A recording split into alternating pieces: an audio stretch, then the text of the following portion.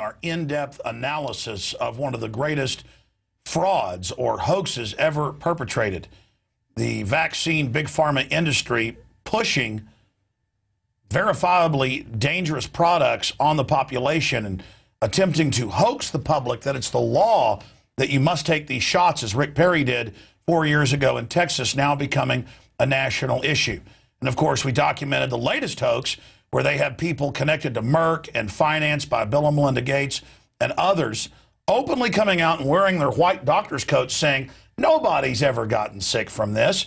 In fact, we'll give $10,000 to anybody that can prove that Gardasil has ever damaged anybody. And I went and looked up the numbers a few days ago. It was 18,000 plus adverse reactions from the Gardasil HPV alone. And on top of that, I was talking to Dr. Wakefield. He was saying it's now above 20,000. I can't think of anybody better, sir, to interview than you because you yourself, and I've seen the documents and the reports, you are also a victim of their hoax. They just keep saying you've been discredited when the opposite has happened. Good to have you here with us. It's great to be here, Alex. Thank you very much. Let's start before we get into uh, their latest activities and the incredible developments in California that you've been uh, fighting that's gotten almost no national attention. Let's start, though, with their hoax against you. Who you are, what you've gone through, the new studies that have come out, and the old studies that have been discovered, confirming your research. Uh, and I know you got some surprises in the future, but we won't get into that today. Uh, but basically, what you've gone through. Well, Alex, I'm an academic gastroenterologist. Parents came to me, said my child was fine, had a vaccine, in this case the MMR vaccine, and then they regressed into autism. We investigated the children's gastrointestinal symptoms that had been left in abeyance by the doctors, and lo and behold, the parents were right, the kids were sick. When we treated them, not only did the bowel disease get better, but the autism improved as well. So there's a link between the bowel and the brain, and there may well be a link between that and the vaccines. And raising that issue, merely asking for further research to be done, led the world to come down on my shoulders and the shoulders of any doctor who dared to question the safety of this vaccine. Well, that was 15, 16 years ago. We're still in the game. There is undoubtedly a connection between these vaccines in some way and neurodevelopmental regression into diseases such as autism, and that is not going to go away. We're going to resolve that issue, and we're going to resolve it right here. Well, uh, even the big federal vaccine damage fund has paid out. Just lately, I saw 80 plus families of autistic children. The federal government, on one side, admits there's this connection, and then on the other side, they come out and run this hoax just using a reporter to say you've been discredited. Uh, and it seems to be their stock in trade to just make outrageous claims like the new one.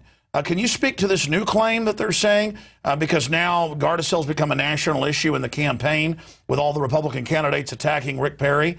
Uh, and uh, the claim by uh, Merck operatives that no one's ever been hurt by this? Well, if you look at the adverse events reporting system, and got to remember this is the VAERS system, it's a federal system run by the CDC. It is known to report to, to accumulate 1 to 10% of adverse reactions, a small minority. And the latest report I saw in there was 22,000 reports of adverse reactions from this vaccine alone the Gardasil vaccine or the, the uh, cervical cancer vaccine. That is alarming. That's nearly one quarter of the total reports of adverse reactions in that system. So there is a real problem with this vaccine. Whoa, whoa, whoa, whoa. Hundreds of different vaccines out there, hundreds and hundreds of variants of each vaccine, different companies out there. I, I don't have the numbers, but I know there's thousands of different variants out there. And you're saying it's nearly a quarter of all adverse reactions are directly being attributed to Gardasil? The latest number was 24% of the total wow. number is attributed are attributed to the cervical vaccine. That is one of the two that are available on the market. Well, earlier we, we played some of these clips and, and, and covered it in this ridiculous $10,000 challenge. And I've even had callers on the radio say, well, there's a challenge. They're saying no one's ever gotten sick. Why would they issue a 10,000 a dollar challenge. Well, they never have to defend that challenge. They've defined that challenge. I mean, it's is hoax a strong enough word to describe what they've done to you? Uh, saying that you were discredited with no evidence, but just distributing the information all over media. Uh, and is hoax a big enough word to describe uh, their operatives' claims that no one has ever had an adverse reaction. Well, I think this is laughable. It's a disgrace. And here you have a professor of bioethics from the University of Pennsylvania indulging in some uh, publicity stunt by offering a $10,000 uh, award if, uh, if this Congresswoman Bachmann can come forward with someone who has suffered mental retardation from this vaccine. What a disgrace that we should ever be in that situation. The job of scientists, physicians, is to answer the fundamental questions about whether these vaccines are safe or not, or whether they're needed in the first place. And to then indulge in some scam, some circus act of offering $10,000 in the face of many, many children who've been severely damaged by these vaccines, then that is uh, utterly reprehensible. Now, Doctor, uh, separately, I've seen the press reports out there uh, dealing with other vaccines and autoimmune disorders. And I know on the H1N1 insert, it said it could cause autoimmune disorders, was linked to cancer, could cause Guillain-Barré, other um, problems with the brain, uh, could cause narcolepsy. And I know talk show hosts personally who called and apologized and said, my God, I took that and couldn't feel my hands and feet for a month. Went to the doctor and they said it's an adverse reaction, Guillain-Barré. You've had some type of brain nerve inflammation. So, so, so this is in the literature. And back when they were testing it in 2006, 2007, I was having medical doctors on. There was local newscasts reporting it around the country that people were having autoimmune disorders, convulsions, blood coming out of different orifices, dying. And I'm no rocket scientist, but the scientist I interviewed said uh, it's, it's, it's causing an autoimmune problem. Well, now we learn uh, just last week, I know you were on my radio show uh, with Mike Adams sitting in, and, and, we, and we, showed the documents that a, uh, vaccine testing company tested 13 different lots and found that they had bound uh, more of the virus RNA or DNA than they normally do, and that it was bound to the adjuvant. And that it would, most scientists said, would then probably trigger autoimmune disorders. How could they have different manufacturers for Merck binding it to that. I mean, that sounds like that's done on purpose, but I know that's a side issue. I'm putting the cart before the horse. Uh, what do we know specifically uh, that these vaccines are doing to cause autoimmune problems? Well, we don't, and this is the tragedy. We should and we do not know. Now, what's happened here is that the proteins of the virus should be in the vaccine to promote the immune response. What they now find after giving this to millions of people years down the line, uh, that the vaccine actually contains recombinant DNA from the virus bound, as you say, to the aluminum adjuvant. That is a very dangerous combination. And we know that in certain autoimmune diseases, such as lupus, then you develop antibodies against DNA. And that is part of the disease process. Here we have a situation where the adjuvant that's designed to promote, to boost, to aggravate the immune response is bound to this foreign DNA that they did not know was there in the first place. And that is a potentially very dangerous situation. So to say that the benefits of this vaccine outweigh the risks when you didn't even know this stuff was there in the first place is unacceptable. Well, Doc, we played a clip last week when you came on the show of one of the developers, co-developers with Salk of polio and other vaccines, and they just admitted on CBC and laughed about it. They said, yeah, there's a leukemia viruses in a lot of these shots. Um, yes, there was the uh, SV40 that caused a lot of cancers. That's not even debated, and it's in all the medical literature. But then when we warn people about this, they just laugh at us and say that we're hoaxing. I mean, they're clearly the hoaxers. Um, I know you focused on the gut. I mean, that's what you're a medical doctor of. You you look at that, and I know off record you told me some very exciting uh, things that you're going to be releasing in just the next few weeks.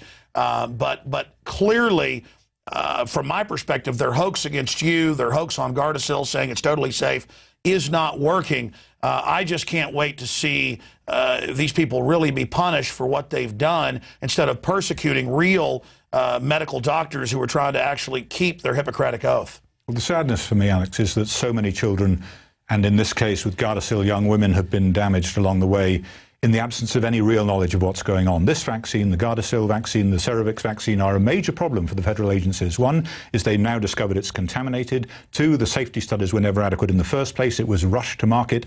Even the developers of the vaccine uh, Diane Harper was particularly concerned about the way in which this was marketed. It was not intended for originally for women in first world countries like the States. It is a marketing exercise. And now we have in California this effort to mandate the vaccine for girls and not only do so, allow girls of 12, 13, 14 go against parent, potentially their parental advice their parental insight and say they're going to have the vaccine instead. Uh, and, and, that is going to destroy the fabric of the family. How can you possibly usurp the rights of the parents to dictate, dictate their children's healthcare um, needs uh, and wishes when, in fact, the state takes over, the pharmaceutical industry take over, and clandestinely without the parents knowing, in the absence of the parents' permission, or indeed explicitly against the parents' wishes, go ahead and have this vaccine. It's really very, very damaging as a precedent to set. I took off a few days over the weekend, and I was listening on my um, iPad while I was jogging on vacation to the iPhone app of my radio show, and you were a guest when Mike Adams was uh, sitting in guest hosting, and I heard what you were saying about California, and I believed it because I've looked at your research, and I, I don't just trust what you're saying, but still, I was taken back by the information on California. As soon as I got back to the hotel, I went directly to the internet and found out it was all over California news. It had not become a national news story yet, and that indeed they th that the bill was on the desk of the governor, passed, to not get parental consent for the Gardasil shot of young girls in schools. And again, people think that I'm going to know everything. I don't. It's always far worse than I could even imagine. But but but even I, as much as I know, I it was so hard to believe that that not only would Perry run this hoax and say it's the law, you've got to take this shot and then be exposed four years ago, but that they would actually get a state to make it the law. And as you pointed out on the radio, this is where they show them a film. They have a you know, PR person, and they go, "Oh, look, this girl's going to get it first. Doesn't she? Isn't she brave?" And then they give them iPads and all the rest of this. I actually went and looked it up. They've done that with similar systems. But then I went and looked up the law. I remembered this, but I went and checked the law. And here's the key. And I want you to comment on this. If if a 20 year old man gets a 15 year old girl to get in their car and he has sex with her, even if she consented, it's statutory rape because she's not at the age to be able to consent. Um, if, if, if, a killer entices a five-year-old to get in the car because they have a puppy, uh, it, it isn't okay because that person doesn't really have free will yet in common law until the age of 18. And so it really is forced inoculation to not tell the parents and then induce them and brainwash them to do it. And then separately, it's such a wild escalation of authoritarian, tyrannical activity. And I want you to speak to this to, to in America, or any free country say we're not going to tell parents we're going to shoot their kid up with something while it's a national controversy and has been linked to so many illnesses and even deaths. Uh, it's just off the charts for me that that it's reached this level. And if they get away with this, they want to forcibly inoculate every girl in Mexico. Now they're saying little boys. I know of cases where CPS take people's children because they won't vaccinate when there's not even a law. I mean, we are seeing a medical tyranny in this country, and I know that's how the tyranny started in Germany, was first through the medical system. Can you speak to my little rant here? Certainly, Alex. Fundamental to the fabric of society, American society, society anywhere, is the family structure.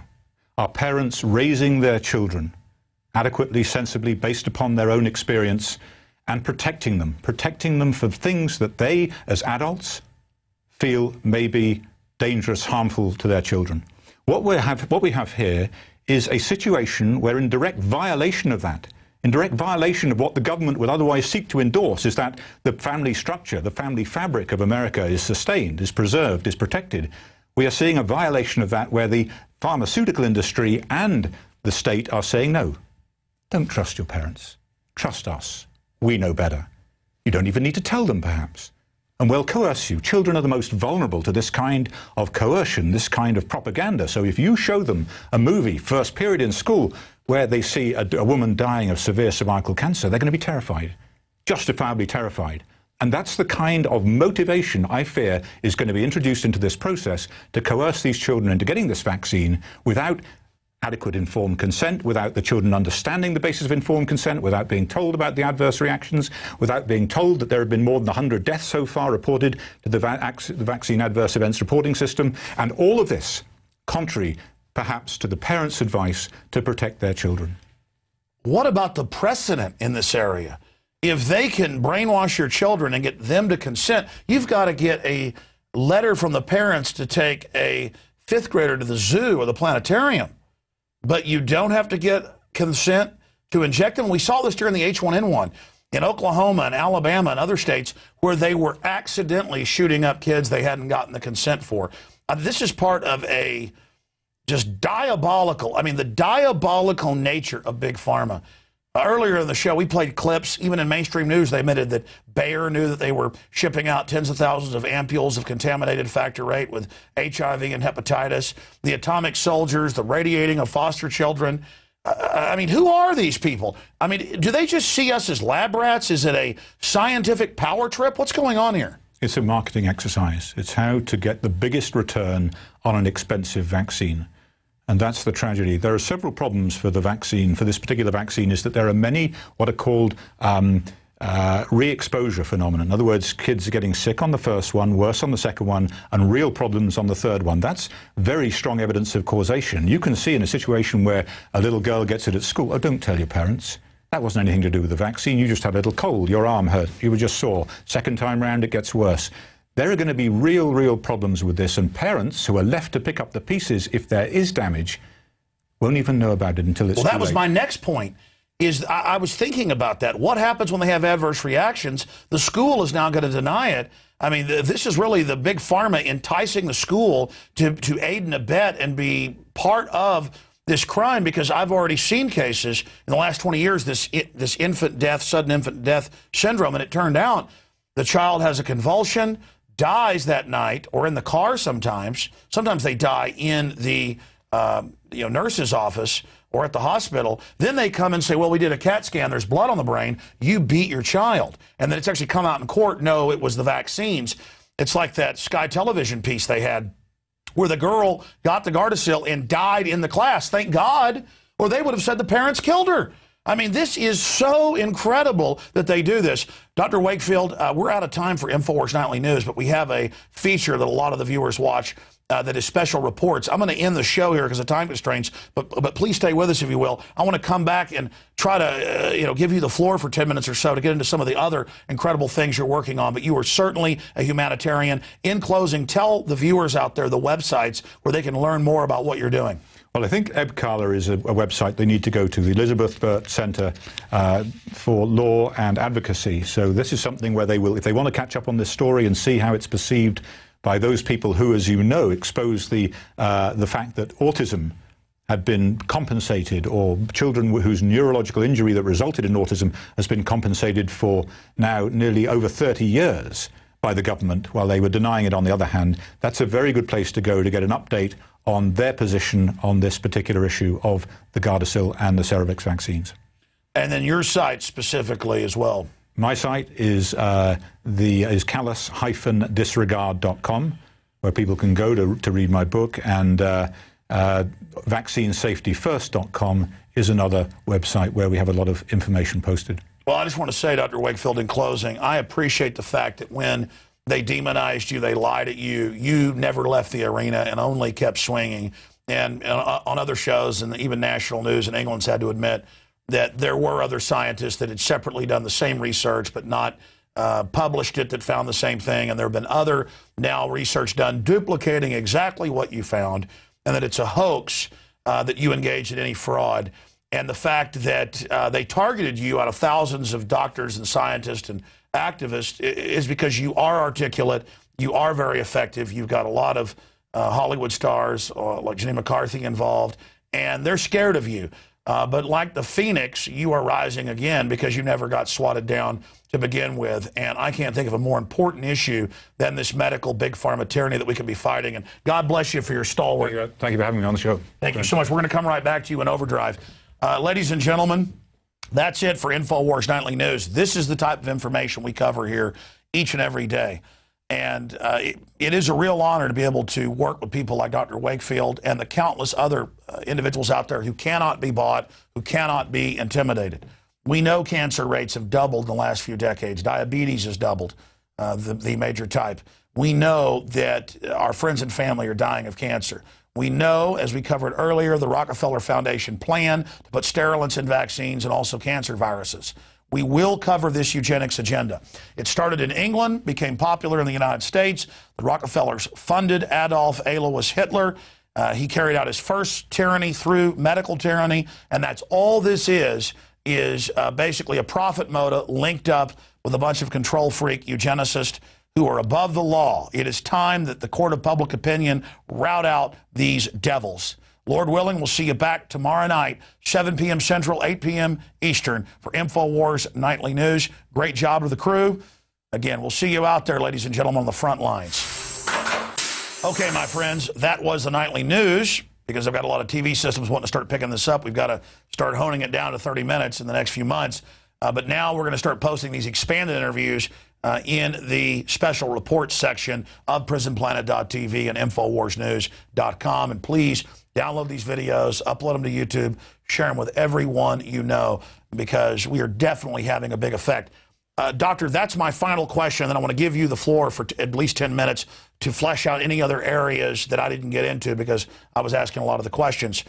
Is it not a uh, buoying, positive sign that every other Republican candidate, Mitt Romney, Michele Bachmann, uh, and of course, driven by Dr. Ron Paul, who first uh, started talking about it, uh, that they're all attacking Rick Perry for it, that it's driven down his poll numbers, uh, that we've seen national polls of close to 90% are against Gardasil and, and, and think that Perry trying to push forced inoculation was wrong.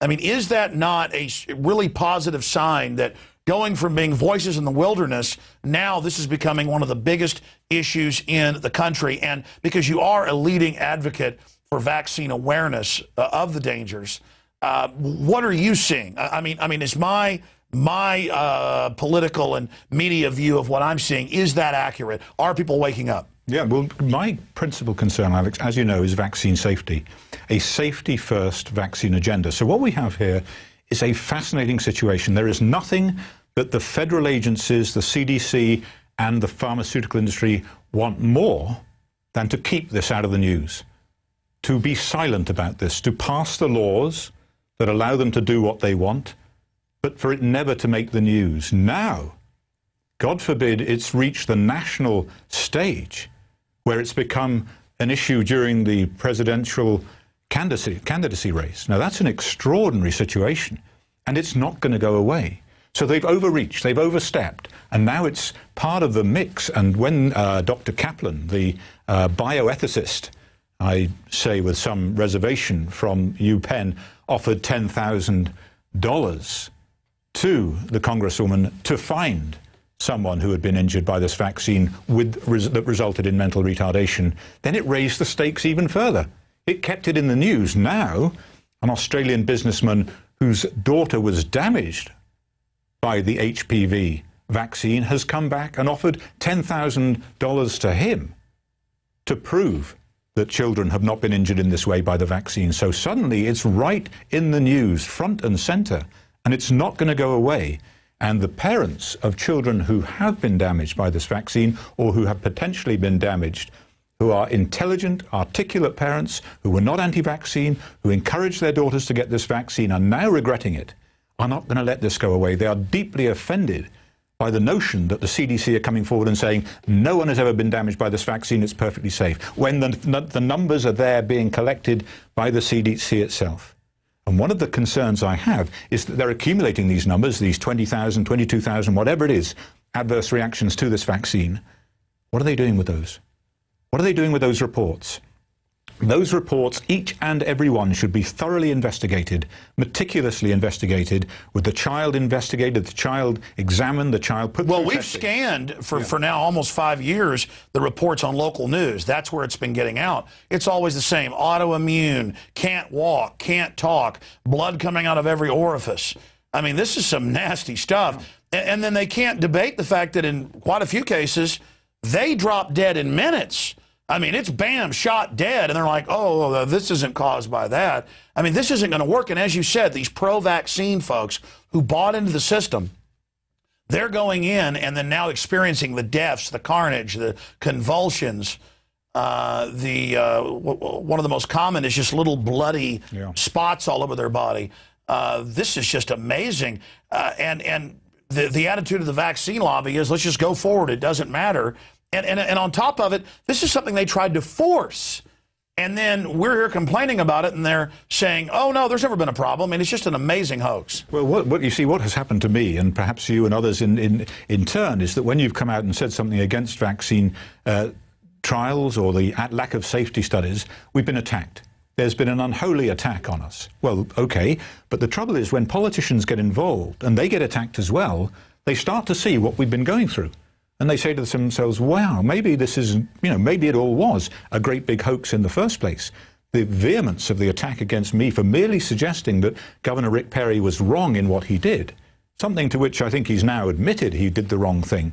But when you start leveling that kind of attack against other people, politicians, journalists, other scientists, people are going to collectively say, wow, now we know what that guy went through. And this is the attack we, we get for just making a reasonable request. That's what happened with Al Gore. As top scientists would come out and say, well, sea levels are dropping and uh, carbon dioxide doesn't cause temperature to go up. Here we have the ice core graphs. We have the sun, the scans of the sun. And they would be attacked and, and said, how dare you? You need to be fired. That made tens of thousands of other scientists come out and challenge them. And now even the green movement is telling Al Gore he needs to step down and that their carbon tax is basically dead. I think it's that attempt to persecute that you just alluded to that is going to bring back the spirit of research. I think that's right. They've overreached. They have overreached. And trying to force this vaccine on 12-year-old, 13-year-old girls in California without their parental consent has caused a lot of right-thinking people who are invested in the liberty of this country and the Constitution saying, no, this is not an issue about Gardasil or not. This is not a, an issue about cervical cancer or not. It's about usurping the rights of parents to determine the healthcare choices of their children.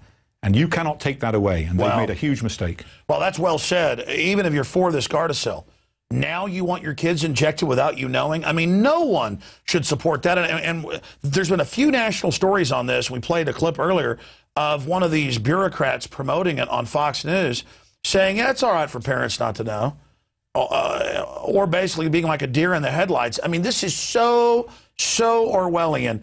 Uh, Dr. Wakefield, in the time we've got a few minutes, any other points uh, that you'd like to raise? I mean, I would like you just to briefly to talk about, because it was a few months ago that I last interviewed you on it saw some of the news in England, where it turns out studies previous to yours that you weren't aware of actually duplicated what you'd done, and now others have duplicated it. And we're seeing numbers out of Asia. I saw one country where it's uh, more than one in 40 becoming autistic? South Korea, one in 36 children now have an autistic spectrum disorder. That is an extraordinary number. No society can sustain that level of damage. I do not know what is going to happen, and those numbers are surely reflected elsewhere in the world. Uh, South Korea is not alone in that. So we have a major, major problem. And until right-thinking Americans, until right-thinking people stand back and say, there is a major issue here, and we need to address it. It is now recognized that the disease is environmental. The mainstream, whatever that was, the old guard have had to completely reverse their position on the relative roles of genetics and the environment. It's now a major environmental disease. Does it hit boys because, as all doctors know, or at least I've always heard it said, girls are tougher? I mean, why then statistically has it been worse on boys? A number of things. I mean, we know that thimerosal can interact with testosterone to potentiate the adverse effects of, of the mercury compound that estrogen protects the brain, so are girls relatively protected compared with boys? Are girls really overall tougher, as other doctors have told it me? It may well be. Certainly as, as neonates and infants, they have a lower infant mortality rate from infectious disease. So history has told us that girls are tougher the, from the get-go. Wow. Uh, Please continue. This is an, uh, incredible information. So it's just uh, uh going from memory. What was it? 30 years ago, it was 1 in 25,000. Then a decade ago, it was, what, 1 in 5,000 roughly. And then just uh, two years ago, it was 1 out of 160. And then 1 out of, what was it, 98 in the U.S. And I've seen numbers as, as uh, 1 in 55. And then in South Korea, you said 1 out of 36. My God. 36. The UK figures are in the order of 1 in 50, 1 in 48. Well, then they say it's over-reporting and that doctors are just claiming people are autistic. No, no, no, no, no. I, I'm only 37 years old. There was a tiny special ed area at the school I went to in Dallas, and, and then a few years of high school here in Austin. Tiny. Now, some schools, a third of normal schools are this. I try to take my children uh, just observing to, to movies, and they'll have several rows lined up of children who are clearly autistic and I just my heart cries out for them. I go to the mall, I go to the hike and bike trail. It's it's everywhere, doctor. I mean, do we have to have all our children uh, being locked up in this cage uh, of, of of mental brain damage before we do something?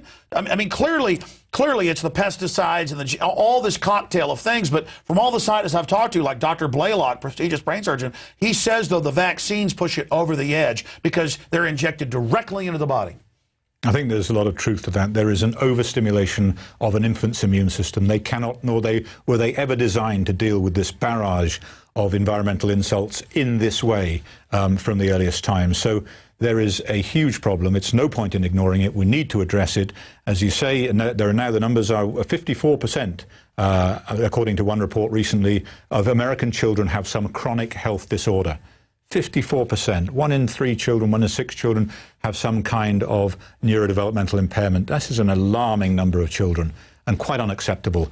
Uh, the US has one of the highest infant mortality rates amongst first world countries in the world where wow. vaccination is most intensive. So uh, if you're seeking to reduce infant mortality rate in developing countries, then you're not going to do it by introducing vaccinations more intensively. You're going to do it by uh, introducing the basics such as food and water and clean living. And I've also read the mercury in the vaccines is actually altering our DNA permanently, generationally. Th th this is like waking up in a science fiction nightmare. Now, now, just briefly, sir, um, here in closing, because I know you don't like to even defend yourself because you know you've got the facts, but uh, you, you were talking about the studies that have now come out that you learned were done in England, separate from you, that had basically the same results. Well, I think the most compelling study recently was actually in ter terms of support of, of my position was the one from um, the from the uh, Pace Law School, showing that in fact the government in this country has been settling cases of brain damage where the outcome was autism in the child uh, for over 30 years. So before that, you, yeah, before me, long before I ever came on the scene. Well, they hate you because you hit the nail on the head, buddy.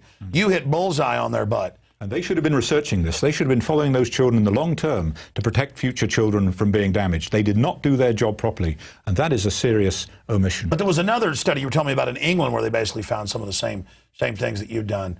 Um, I don't know, it was a while back we talked. There's, I mean, there's so many of these studies. There are now so many studies. In fact, another one just came out from Harvard three days ago that I saw confirming the bowel disease in children with autism. So uh, the, the evidence is accumulating. Well, I've seen links to Crohn's with the measles. They find that in all the Crohn's uh, uh, uh, uh people, basically, that they have that antibody for it living in their intestine.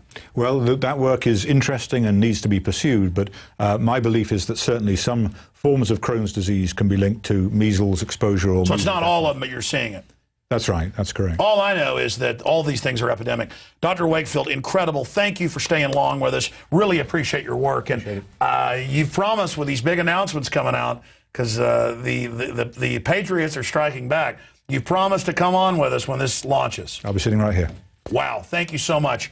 You. Okay, that's Overdrive, ladies and gentlemen. We're done, and that's what you get right here at PrisonPlanet.tv in the special reports section. We'll uh, see you here at Infowars.com, PrisonPlanet.tv.